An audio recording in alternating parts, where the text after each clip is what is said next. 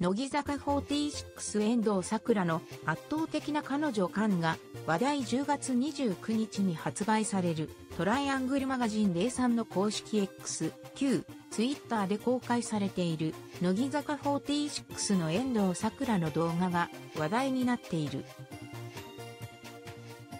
与田祐希、小川彩、そして遠藤の3人がソロ拍子を飾り、それぞれ50ページに及ぶ大ボリュームの取り下ろしで構成されたトライアングルマガジン03。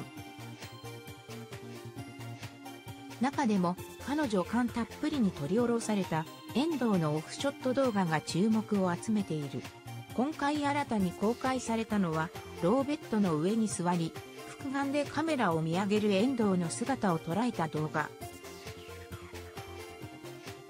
爽やかなブルーのタイトなミニワンピースから覗く素足を倒し、横座りしている姿に加え、カメラに向ける上目使いもキュートだ。SNS では、キュン死確定、彼氏目線ムービーが、毎度楽しみすぎる、あざと可愛すぎ、圧倒的な彼女感など、大きな反響を呼んでいる。